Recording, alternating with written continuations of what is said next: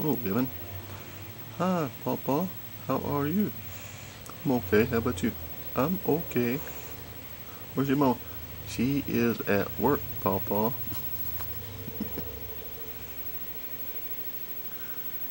twinkle, twinkle, little star, how I wonder what you are.